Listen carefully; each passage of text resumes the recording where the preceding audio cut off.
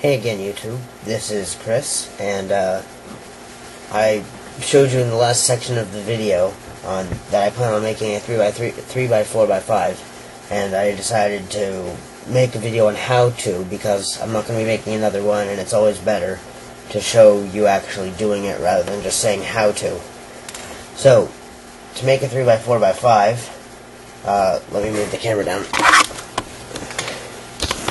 To make a 3x4 by 5 you need to make a Siamese cube, like this one.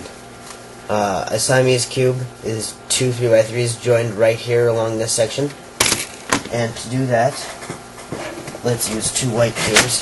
To do that, you take two cubes, then you align them the same way. So for me, that would be like this.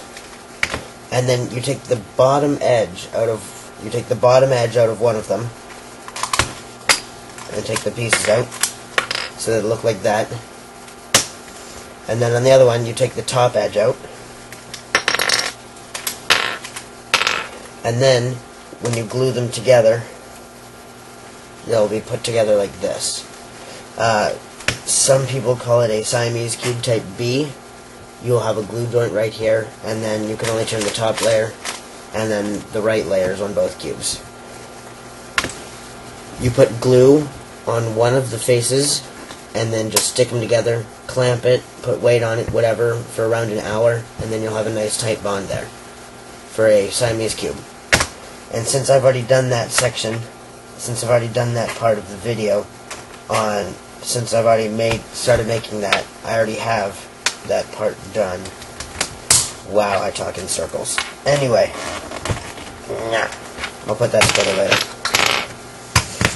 So, you'll have a Siamese cube like this. Uh, this is made out of two DN cubes. I would recommend using these instead of a normal store-bought cube because they turn better and they're a lot cheaper. But you do have to buy them online, and it takes a while to ship them. Uh, so, Siamese cube, like this. This is how it'll look at the very end after you make it. And so that's the Siamese cube. Uh, you can put them in any way you want. So I put orange on front and red on back on this one.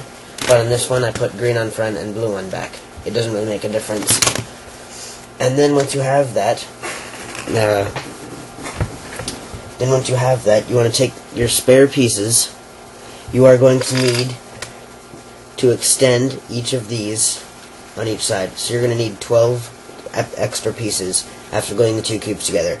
Just in the two cubes, you get six extra pieces because you had to take them out to glue it.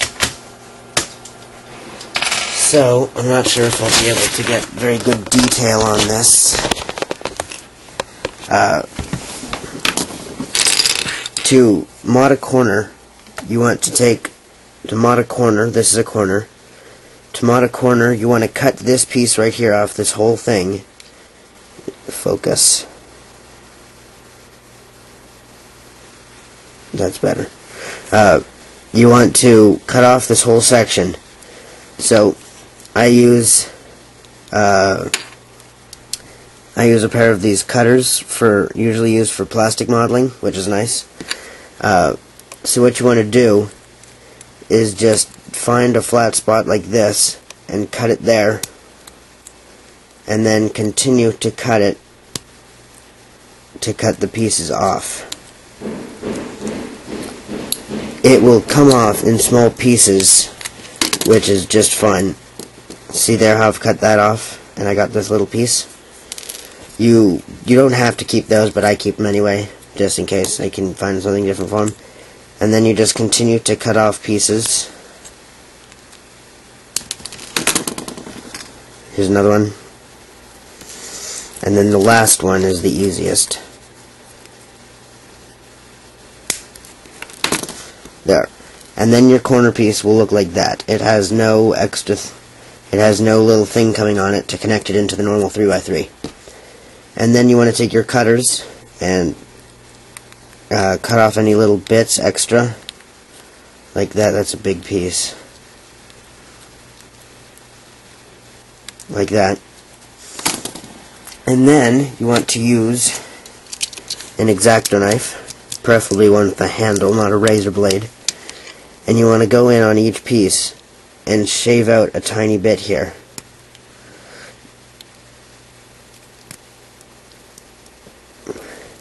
Not only will it look better on this piece, but it will also make it smoother. I realized all the problems I had made when I made my 3x3x5 extended. Uh, you can't really see the difference, but when you try to turn it, you can feel the difference. So, wow, that would be a lame commercial. Feel the difference. Sounds like one of those lame sexual Cadillac in, uh, commercials. So when you're done, if I can get my camera to focus, it'll look like that. Nice and shaved off, um, very smooth right here and here. And then you want to keep that. And then for an edge piece, I have one right here. You want to just cut it off. You want to cut off this part. You want to cut off everything that's showing, really, when you hold it on a side view. So first what I do is I cut it along here and then along the other side like this. And then I grab it and pull it off. Sometimes it doesn't want to come. There's a little piece there. And then for this part here, cut it a little below. See this line right here? You want to cut it a little below that just to make sure you get it all off. Cut it below on each side. And then again, just wiggle it off. Here's another piece. And then you want to cut these little corners off. Like that. So then, just like the other one, then you want to start using your X-Acto knife to shave off the little edges from your cutting job. On this, on the edge pieces, you don't really need to use the X-Acto as much, um, but it still helps in making it look better. Yeah.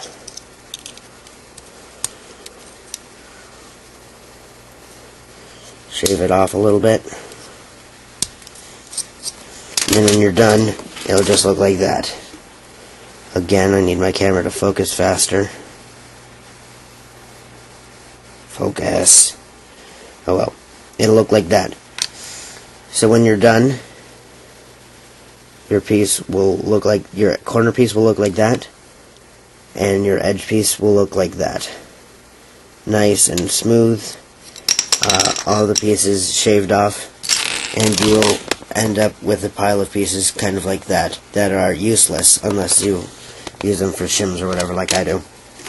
And then I will be editing this video a little later uh, with the, me actually gluing these together. But on this, the Siamese cube, you want to take your piece and find any one of the three sides that would normally rub against another piece and just glue it on like that for a corner.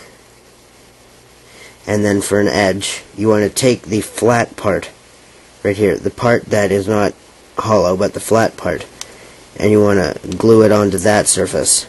So you only want to glue it in one surface, not the other. And then when they're all done, each of the sides will be extended. And it'll look really good.